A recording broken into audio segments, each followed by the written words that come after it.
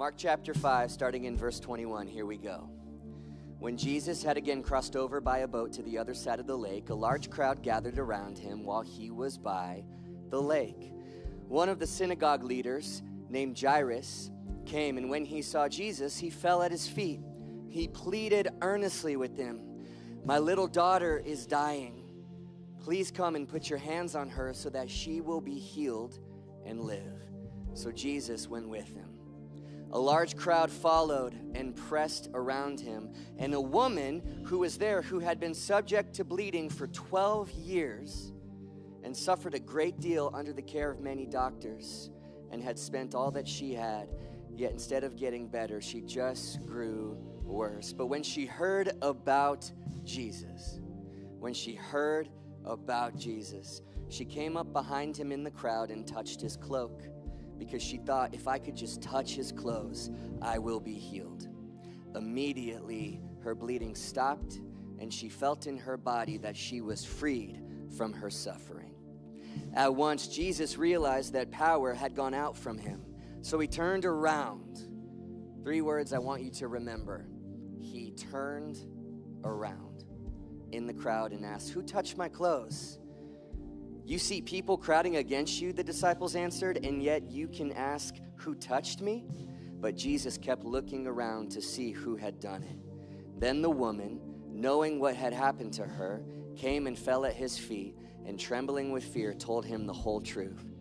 And Jesus said to her, Daughter, your faith has healed you. Go in peace and be freed from your suffering. Amen. This, uh, this message is called Uncommon Healing. If you need a miracle, you're in the right place today. God, we love you, and we just invite your presence in this place to have your way. We shut out distraction, and we get truly present. Speak to us, we're listening. In Jesus' name, and everybody said, Amen, amen. If you do have room, scoot in and take a seat. Uncommon healing.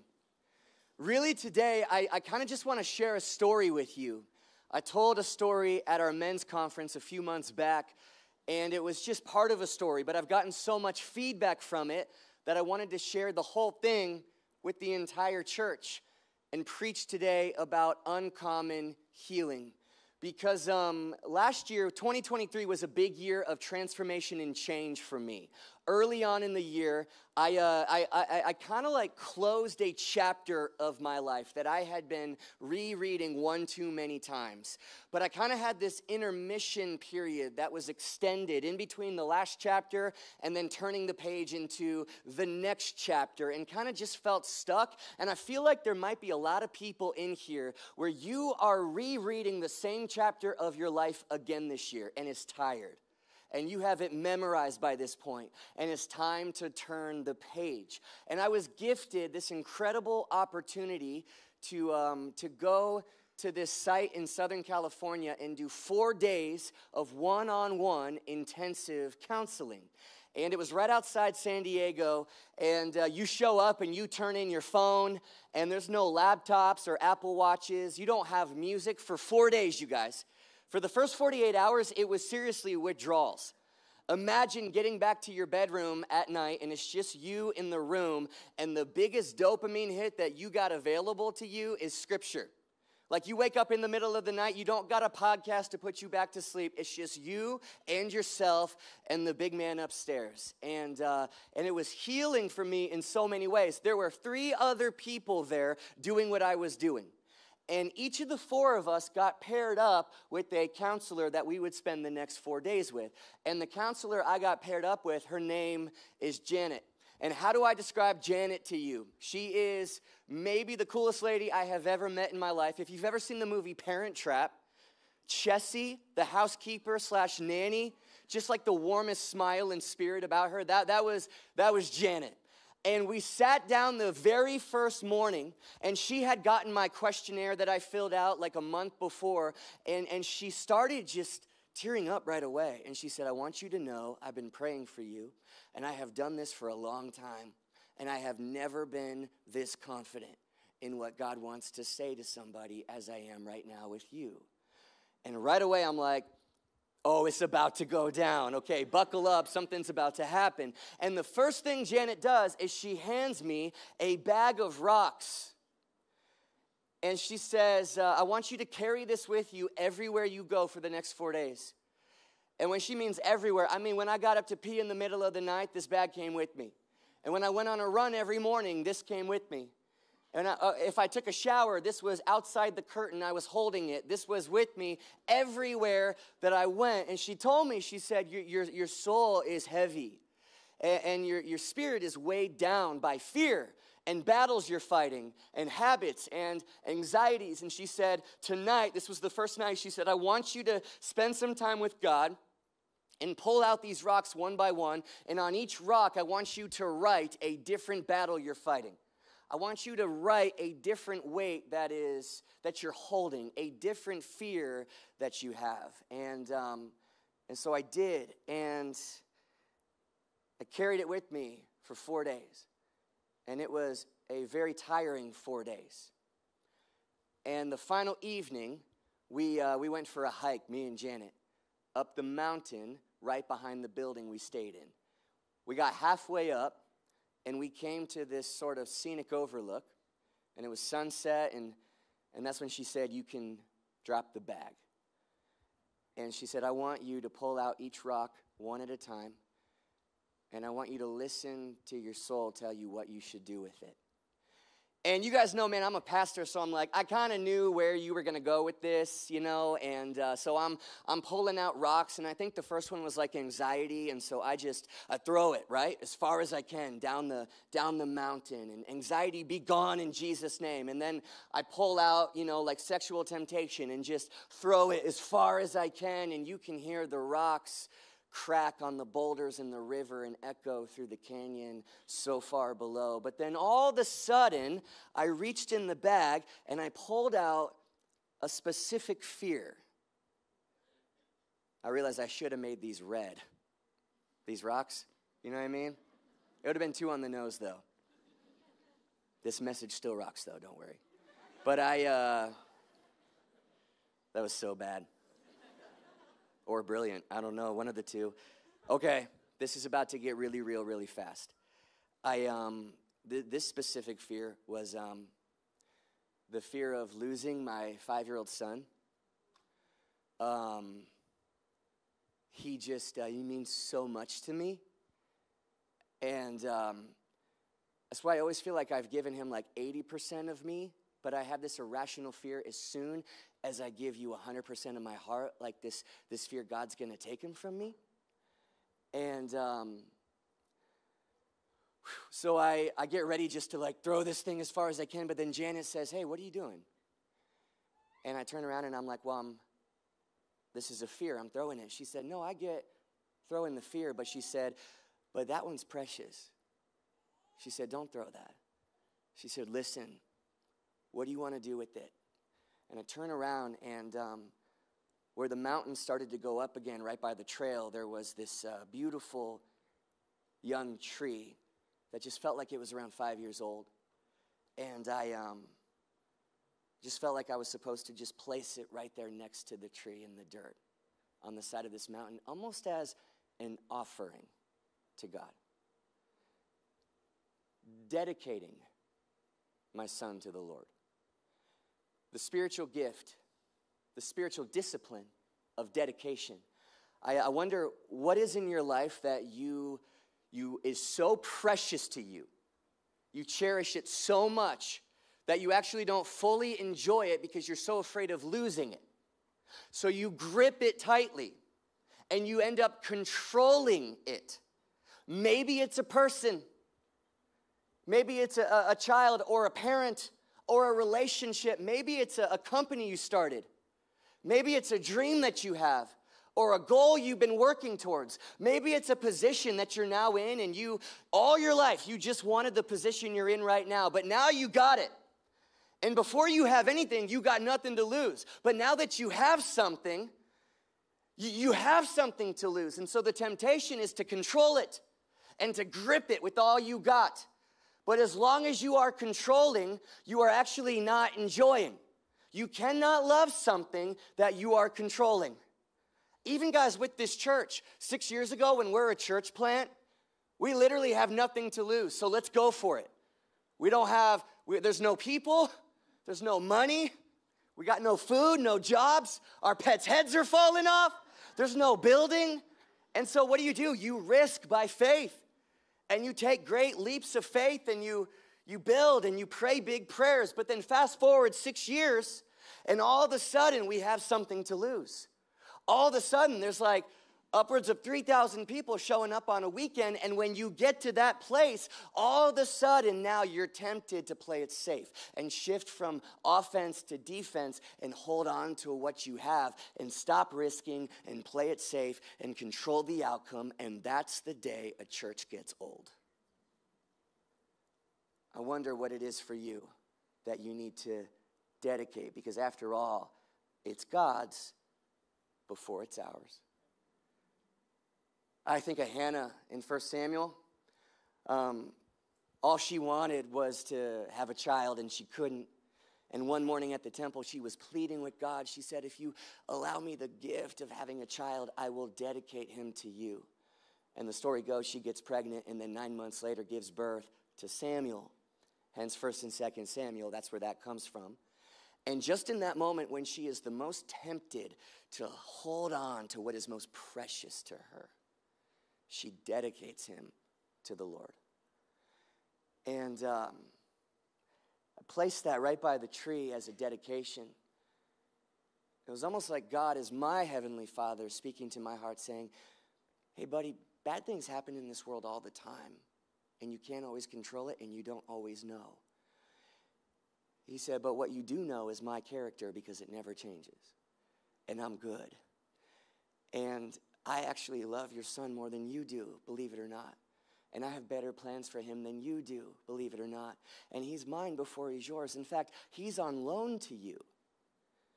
And while he's on loan to you, if you will simply open your hands and continually give him to me, it will free you up to raise a man after my own heart and fully love him as much as you can and actually enjoy getting to be his dad. I wonder, what do you need to dedicate? Maybe a dream, maybe a company that you started and now you're, you're afraid of, because uh, uh, now you've got something to lose, right? Or a family, or, or even a financial situation. What is, what is tithing if not dedication of your financial situation to God? Hey, you worry about it. This is yours before it's mine. You open up your hands and now you're free to, to enjoy something. You cannot fully love what you're controlling. And that's where dedication comes in as a very underrated spiritual discipline and I just kind of sat that right next to the tree. And um, all of a sudden, I feel okay, something's happening right now. Um, starting to feel a little lighter, and I pull out the next rock, and um, and this one says passivity. And I, uh, a few months ago, I read in a Harvard Journal study about something they're calling the quiet quit. I don't know if you've heard of this before, but here's what the quiet quit is Let's say at your job right now, uh, you feel unseen and undervalued and, and unappreciated. Well, instead of walking into your boss's office and having that confrontational conversation about a raise, or even instead of quitting face to face to your boss. You know, like that Michael Scott moment where he walks out of David Wallace's office? You have no idea how high I can fly. And it's like that epic moment where it's a clear closing of a chapter and the start of something new. We don't do any of that anymore. Now, what we do is the quiet quit, where you, you stay, but you quit. And you keep showing up, but not really. You hide in the org chart because you get a paycheck, and you quiet quit. And the cost is your passion. And what you start to reap is passivity. And passivity is something all of us, I think, to a degree struggle with because it's really just a quiet anger. All of us are angry because, on a deeper level, all of us are sad, and we're angry about what we're sad about. And some of us express anger by blowing up, and the world's gonna know if we're angry, and then you become the bad guy. But passivity is, is deceiving because you can be quietly angry. Quietly angry. and quietly quit. I wonder have you quiet quit something? Have you quiet quit on church? And not you, obviously, because you guys are here, but how easy is it to start just like, man, it's so convenient to just online. And then before you know it, it's like twice a month I'm tuning in online, but kinda.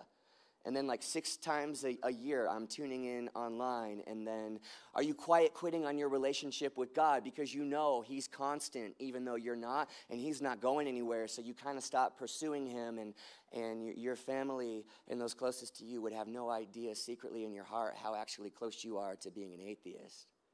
You just quiet quit a while ago. I feel like people quiet quit on marriages all the time. And you stay, but you quit and you show up, but not really. And um, that, that for me, honestly, me and Sam talk about this all the time because our greatest danger, I really believe this, because I know Sam's not going anywhere. And I know that about me. Hey, I'm not going anywhere. We, we, are, there's no exit doors. We're in this together. But our greatest threat and our greatest danger is that for the rest of our lives, we will maybe start to quiet quit on passion and we will just be fine. Maybe a lot of marriages are in danger of you're just fine, and good is the greatest enemy of great. And you become business partners raising kids, but you quiet quit on dating, and you quiet quit on pursuing each other, and you quiet quit on love, and you you quietly and it's almost easier is it not to like leave like not easier i'm sorry harder it's easier to stay harder to like walk out and like, like the, the divorce or leave your family because then you become the bad guy to everybody in your circle. But if you stay and just quiet quit, nobody really knows that you've quietly quit. It's passivity. It's passivity. And the cost is your passion. And you start to pay a price whether you realize it or not. And the remedy for it is serving. Serve your wife, serve your husband, well, it's not working. I'm getting nothing in return. What does that have to do with it? Serve each other. And eventually it'll turn into a competition where you try to outdo each other in honor. Serve your church, serve your city, serve your parents, serve your friend circle, serve your group, and watch as passion starts to creep back in your life again. Remember, Jesus, just hours before he's going to be arrested, knowing he's about to go to the cross, having the final supper with his best friends, with the disciples. And he starts serving them by washing their feet. Meanwhile, all of them are arguing about who the greatest in the room is. And slowly but surely, as everybody starts to shut up and realize what's happening, do you think there is any hesitation or doubt in anybody's mind who the leader in the room is? It's the guy on the dirt with the towel in his hand, washing his friend's feet, including Judas, and serving. Serving is the remedy for passivity because go, if it goes undealt with long enough, what it turns into, and I have found this out, is bitterness. It's just quiet anger that you bottle up, and before you know it, you are, and I realized this, standing on the side of that mountain, I always thought, I'm not a grudge holder kind of person because I don't have any like massive grudges. I realize, man, I, I'm harboring a little bit of resentment here and a little bit of bitterness here. And you know, you know what I learned as a pastor over the last 15 years? Um, the hardest kind of person to pastor is a bitter person. Grieving people, you, I, I heard Erwin McManus say this. You just, you just sit with them um, stuck people, you just give them some tools to get you unstuck. Discourage people, you just encourage them. But bitter people, I have found actually don't want to not be bitter. Because, man, you earned your bitterness. You paid for it with a lot of pain that, by the way, they decided you would feel. Man, this rock, I earned this rock. I own it. No, that's the deceitful trick. You'll never own it. You will only ever lease it. You will pay for it every day without owning it. And bitterness, once again, I heard Erwin say, it's that you can't contain it. You, you can't contain bitterness just to one person who hurts you. That's what's so sinister about it. You've heard the quote like, bitterness is you drinking the poison you want them to drink. But they're not. You are. It's imprisoning you, and you can't contain it to the one person. Like a cancer, it will start to take over every cell in your body until before you know it, you're just easily offended by everything. And it's like the universe and God is almost conspiring against you. And you take even like traffic on the highway, it's personal to you now. I'm just bitter about this and I'm bitter about that. And how did that happen? Because this just, it takes over. And the only remedy for it is doing the most unfair thing there is to do forgive. And I know some of you are looking at me like I just said the real F word in church. And I understand that. Like, man, you don't even know, Pastor. And you're right, you know what? I don't. And you don't know me. But here's what I do know about forgiveness it's not excusing, and it's not even always trusting again is freedom. For you, is healing. It's releasing. It's you're trying to close a chapter in your life, but you can't quite turn the page and you don't know. It's, it's like heaven's uh, security checkpoint, like at the airport, where you try to sneak a Gatorade or maybe you have like a full toothpaste and they're like, that can't come. You got to throw that away. I feel like that's what God does when He's going, You want the next chapter? You want my better plans? Where I want to take you, this can't come. And you can, you can hold on to it if you want, but you stay in here another year. I've been challenging you guys, man. You, you don't have to be reading the same chapter again next October. The same prayer request that you have today that you also had last year, you don't have to have a year from now. The generational curses your parents passed on to you, you don't have to pass it on to your kids. Freedom is here, healing is here. But you got to go for it. I mean, Jairus, his daughter was sick, but he showed up looking for Jesus. This woman bleeding for 12 years, but she she went for it. Did, did she not? Like something supernatural took place and only God could do that, but you got to want it. You got to go for it. I'm telling you, there are miracles here for the taking if you want them. But sometimes you got to do the most unfair thing there is to do you got to forgive.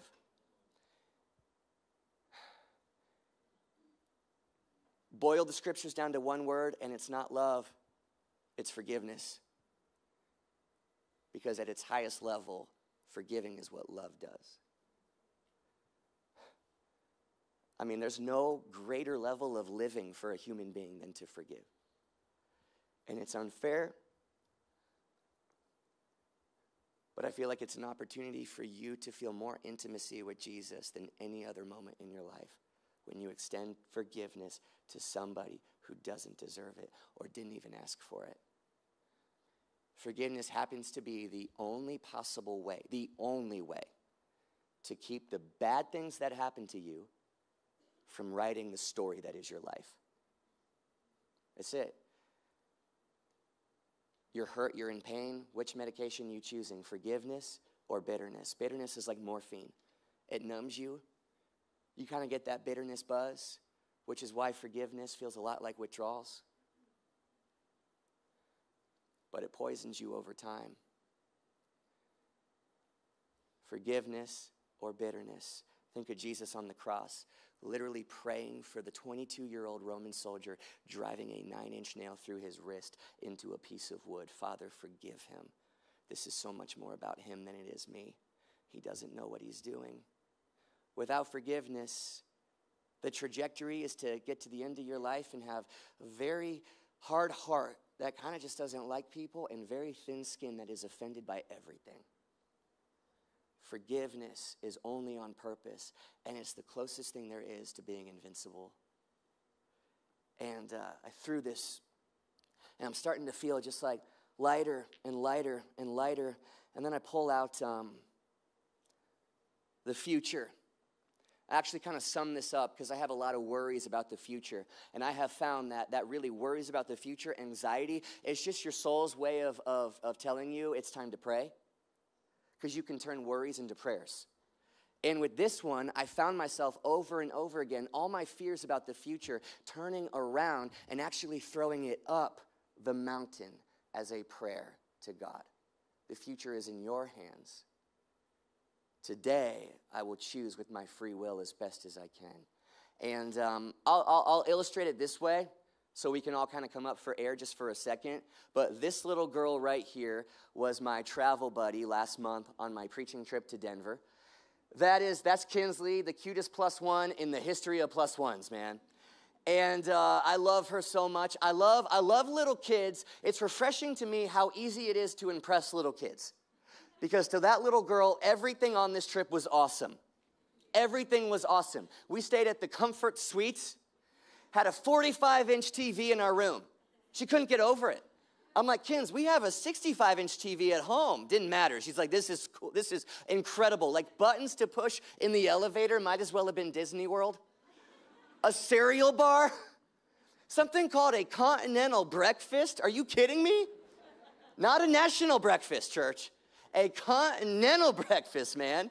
Bagels from so many continents. And uh, even in our room, we had two queen beds, and I, um, I said, You can pick which bed you want. And uh, I, I, recorded her choosing process. It's the cutest video I've ever seen, and I want to share it with you, so watch this. No, eeny, meeny, miny, mo. Catch a tiger by his tail.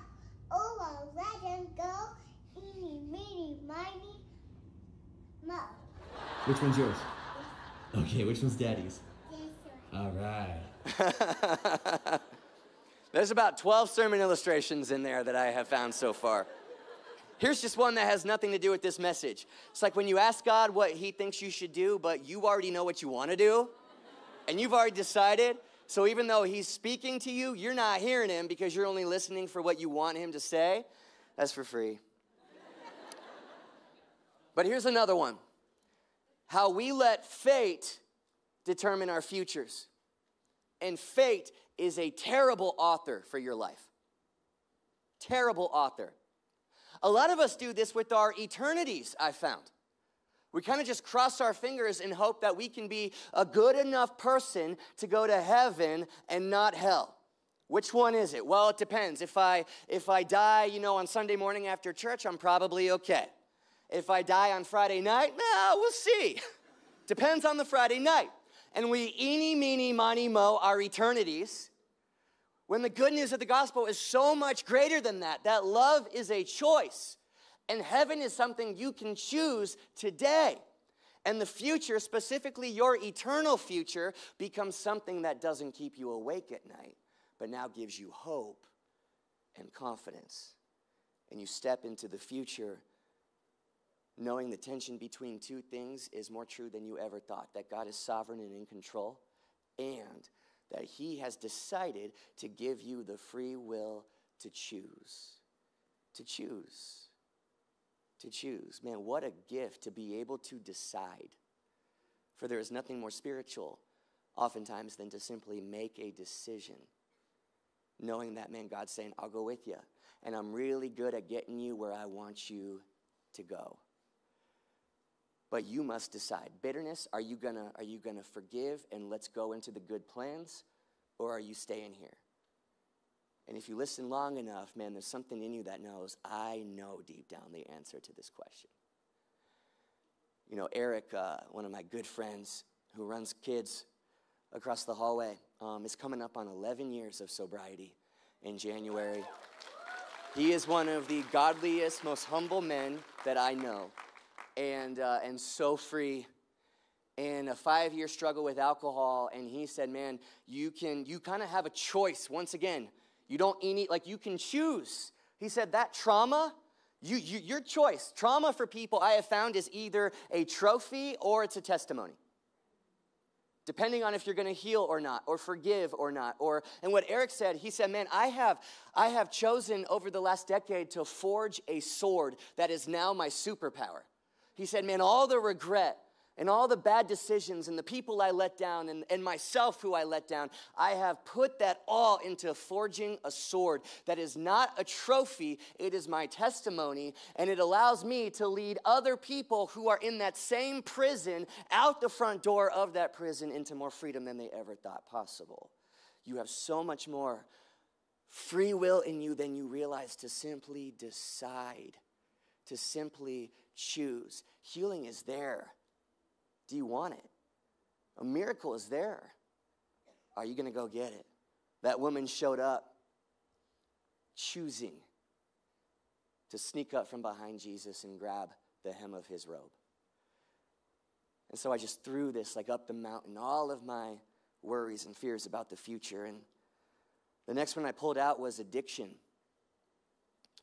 And this was the one I was waiting for because specifically it said Vicodin.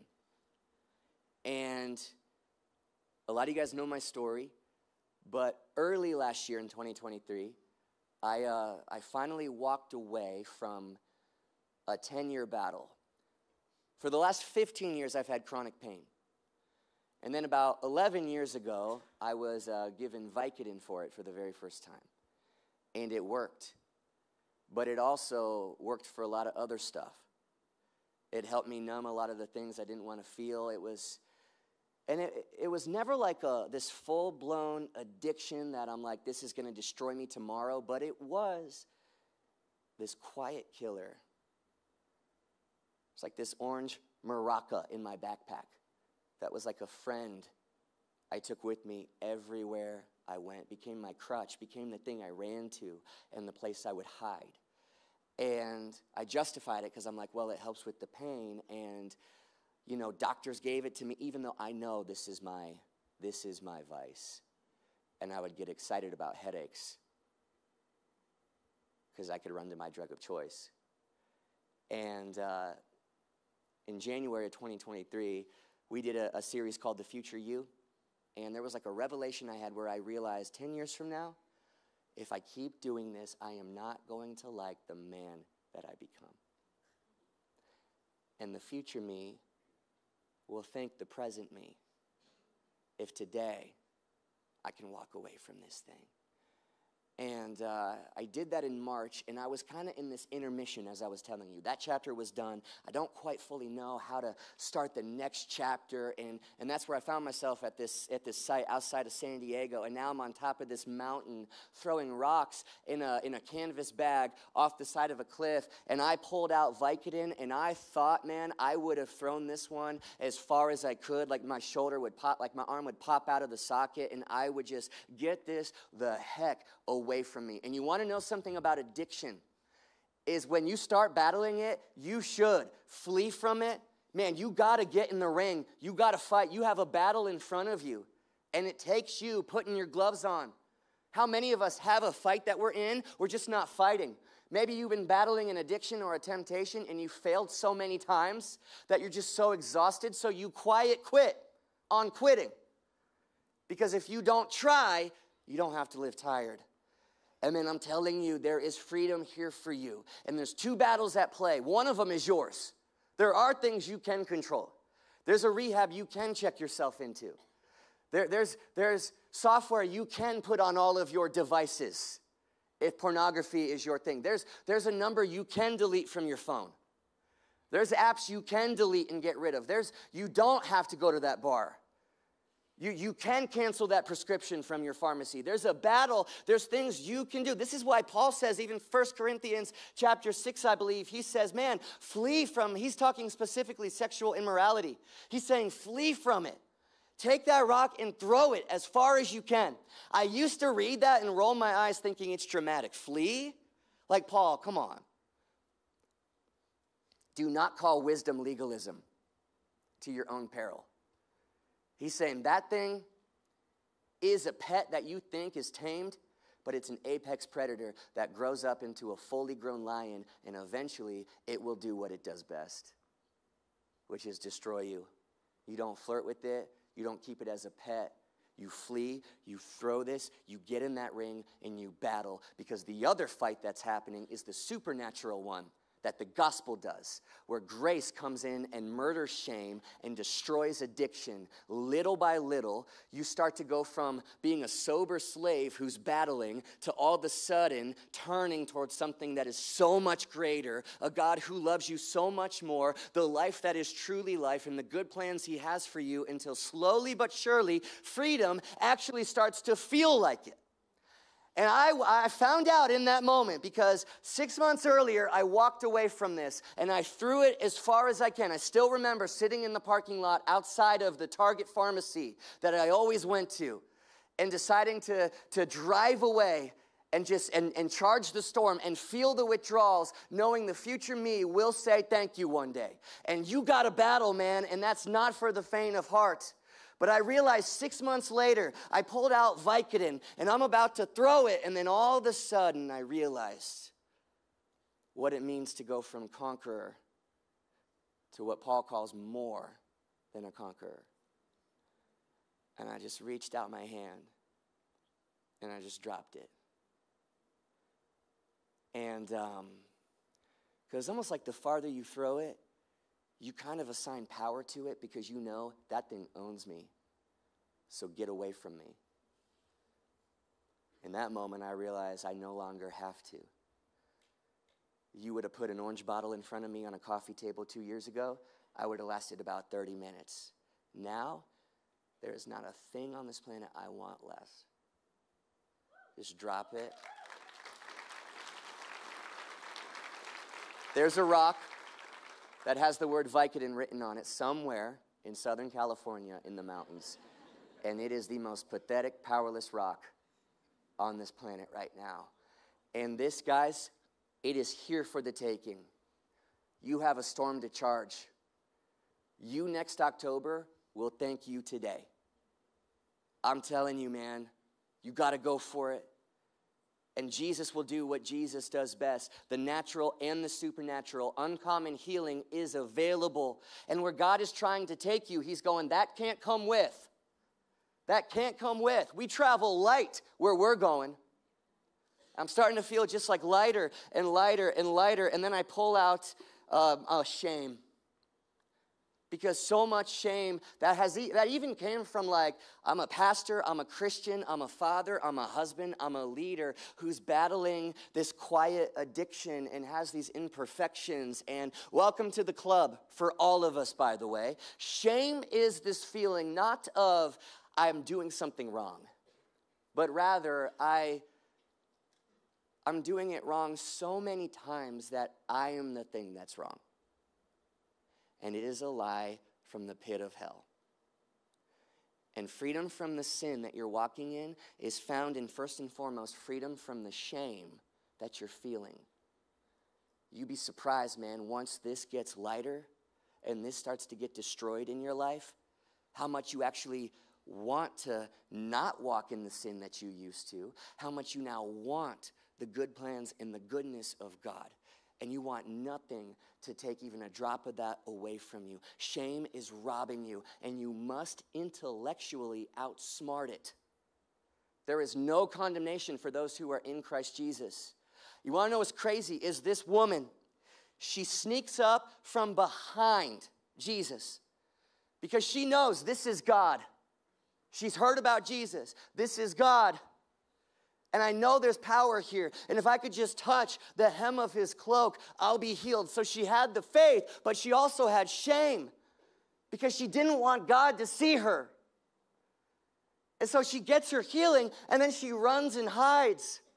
And how many of us know God, but we're still running and hiding because we can't? We're so terrified to see what God's facial expression is towards us. I pastor people going through real stuff all the time addiction, divorce, affairs. We all struggle with stuff, guys, and I have found, even for so many Christians, the answer to this question what does God's face look like towards you right now? will tell you everything you need to know about your relationship to God and what shame is doing to it. I have found for so many believers that God's face is one of disgust, or I'm putting up with you now because maybe one day you'll figure this out or again? The same chapter? Like, really? When in fact, the exact opposite is true. The exact opposite is true. In Exodus chapter 33, there's this amazing story of Moses who uh, is called up Mount Sinai to spend time with God on behalf of all the people he was leading. And on top of that mountain is where God gave him the Ten Commandments. And he comes down two weeks later and all the Israelites, they couldn't care less about the Ten Commandments until they saw the face of Moses, because it was radiant. And they had seen he was with the presence of God. And now, it's like the world had, like, you have the world's attention, not because of the knowledge you know, but because they can tell you've been with God. And, um, you know, the story kind of goes one of his experiences on top of the mountain, Moses makes the most audacious, bold, amazing request of God that has ever been made in all of history. He says, God, almost like speaking to a friend, he says, Show me your glory. God's glory, essentially, I heard Judah Smith describe it this way, is God's godness. It's his essence. What makes God God? His glory. And God says, okay, you want to know my essence? I will show you my goodness. The first thing that comes to the mind of God when asked about his godness, not his wrath or his justice, but his goodness. He said, however, you can't fully see my face. He uses the word face a few times in Exodus 33 because this is before Jesus, which means this is before the sin problem was completely dealt with. So God knows if you see all my glory, you will literally drop dead. Think Raiders of the Lost Ark and the melting faces. Moses, if you see my face, yours will melt. Like you can't handle it. So, what I'll do is I will place you in the cleft of this rock, and I will allow my goodness and my glory to pass by. And as soon as I pass you, I will allow you to look, and you will see my back. But that's all that you can do. This woman, years later, realizes this is God. And what does she do? Because she feels like she has to be sneaky because of shame, she sneaks up to Jesus' back, to God's back. And she reaches for the hem of that robe for healing, and she gets the healing that she believes in. And then Jesus all of a sudden stops, and she, because of shame, runs and hides. Once again, what is God's facial expression towards you? But that is when one of the most beautiful things in all of Scripture happens. Do you remember the three words I told you to remember at the beginning of this message? Jesus turned around so she could see his face. Healing from shame is found in the countenance or facial expression of your heavenly Father, who looks at you right now, not in disgust or confusion, not annoyed not aggravated, but proud. So in love, not with the future version of you who has more of your stuff figured out, but with you right now. The scandalous nature of grace, what makes the gospel so illogical and insane, is that Jesus was the incarnation, God with skin and bone on, who came to this planet to handle the sin problem once and for all. And he lived perfect without it. And then he died as a perfect sacrifice in order to give you his perfection. And now, because of that, when God looks at you, he sees Jesus. And he says the same thing to you that he said about Jesus as Jesus came up out of the Jordan River after being baptized. This is my son. The Father's booming voice through the clouds. This is my son in whom I am well pleased. And if you can believe it, today he's saying the same thing about you. This is my son, this is my daughter, in whom I am well pleased. The greatest challenge of being a Christian is trying to figure out how to believe news that good could be true for you. Because it is true, but you will experience it to the degree that you believe it. And healing is here, but you will walk in it to the degree that you go for it. Jesus turned around, walks up to this woman and what does he say? Daughter. And try saying what he says next with a frown. Your faith has healed you. Now go and live the life of freedom that you've been searching for. Now go and live a little bit lighter. Now go and walk in the fullness of life and the good plans that I have for you. Daughter, son, your faith has healed you. Church, uncommon healing is available for those of us who want it. I am telling you, we are entering into a season as a church where there's just miracles for the taking. We're gonna see miracles in this next season. We're gonna see miracles as a church body.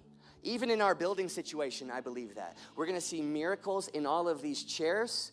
There's a supernatural element that needs to happen in your story. Like you got to go for the healing, and then the power of God has to do what it does. And I'm telling you, it's there for the taking for anybody who wants it. I found myself standing on the side of this mountain outside of San Diego feeling so much lighter because all four days, here's what's crazy about my time at this center. All four days, you're not allowed to talk about your job. You know how hard it is to get to know three strangers without being allowed to talk about what you do for a living? Especially when you're a pastor and you find your identity in it. And I talk about it all the time because it's not just a career to me, it's my calling. But now I'm not allowed to say any of that.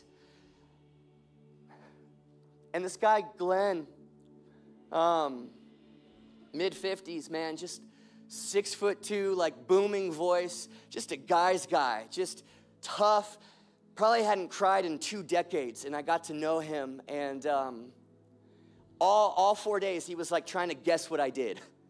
And he said, You're like in the music industry, aren't you? He said, You do something cool. I was like, No, but thank you. Um, until the very last day at lunch, we're finally allowed to talk about it. And I said, Glenn, I think this is going to surprise you. Because all four days we got to know each other, and all he got to know was uh, broken Doug and um, addicted Doug, and uh, let's go for evening walks and cuss a lot, Doug, and not Pastor Doug, not wearing a cape, Doug, not. And I said, "Hey, man, I'm a, I'm actually a pastor." And he looked at me and started crying. And he I, this is a this is an exact quote. He said, "Bro, I would so go to your bleeping church, man." I want that so bad as the testimonial on our front page for our website. I would so go to your bleeping church, man.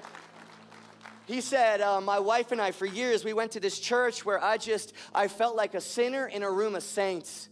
And the pastor, more than anybody else, made me feel that way. And he said, I just really needed you to be a pastor.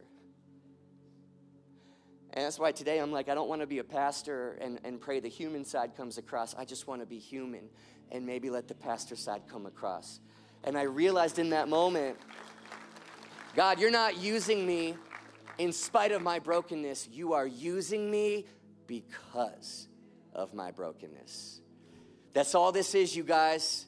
That's all this is. We're imperfect people pursuing a perfect God. You think that's just a good tagline we say? That is the reality of what this is. Imperfect people who God has perfected and is perfecting and healing, alive, living, and breathing. A God who can do exponentially so much more than you could ever ask or imagine. And I kind of felt like in this moment today, this weekend, like Moses in, in, in, some, in some ways, where on behalf of the group of people I'm leading, I climbed a mountain and spent time with God and came back down the message, the mountain with the message for you to tell you this is what God has in store for you, and this is what God says about you and who you are to Him, because He told me and I wanted to relay it to you as a messenger. And you know what? Four days in, a, in as one-on-one counseling is an, is an amazing gift and a great tool, but it's the presence of God that heals you. It's the power of Jesus that transforms your life. And that's available to you today. It's available to you as we worship. It's available to you all the time. And what's better than me going on your behalf to get a message and then relaying it to you is you hearing it from Him Himself. You have a mountain to climb. And the more that you do, and I promise you, He wants so bad to meet with you and say this to you face to face with the proud smile of a father who is absolutely in love. And the more that you start to realize that's true, the more healing you'll walk in the more lightness you'll walk in, the more freedom will feel like freedom. And the more you'll close that chapter and really step into the life that is truly life. Amen? Will you guys stand? God, we love you. and uh, we just worship you. I pray, um, God, you're the Ephesians 3:20 God. You can do more, so much more than all we could ever ask or imagine. And I believe, I feel it in my bones. For anybody in here, if you've been waiting, get ready. If you've been praying, get ready. If you've been hoping, get ready. Get ready for a miracle. We have a God of miracles who can do more, so much more than all we could ever ask or imagine. So as we worship Him, stare into the proud face of a Father absolutely in love and step into your uncommon healing. In Jesus' name, and everybody said, Amen. Let's worship.